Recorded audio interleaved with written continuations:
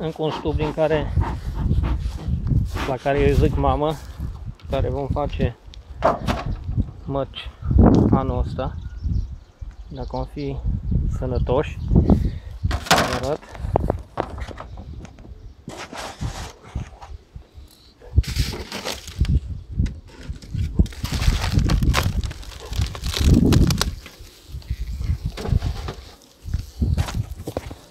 Uitați cum arată. Tot una filia. Are rost să mai avem diafragmă la el, că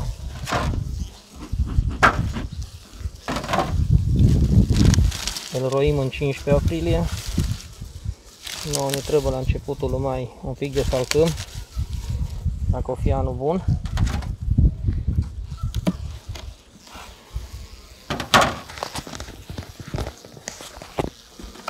Deci din asta vom face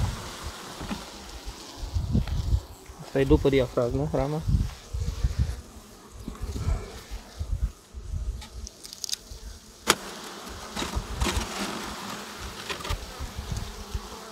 Uitați, deja începe să crească, ceea ce ne spune că trebuie să băgăm rama, să extindem cuibul.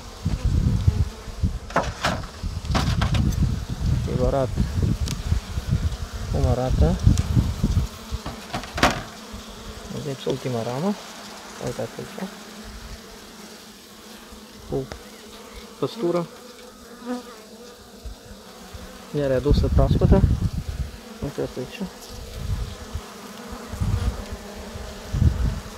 Un pic, un pic, pic cam tare. O să trebuiască să mai luăm rame cu puiet din el. O să nu-l lăsăm să roiască. Că chiar e păcat. Uitați până unde are. Deci, la ora asta e puiet. Uitați unde. Uitați la dumneavoastră. Deci e puiet. 2, 3, 4, 5, 6 rame, ceea ce e exagerat de mult pentru data asta. Vom da o ramă lângă puiet. Și să mai punem o ramă clătitoare. Nu am acum faguri, dar voi scoate din el rame cu puiet și voi da faguri la clădit. Uitați aici cum arată.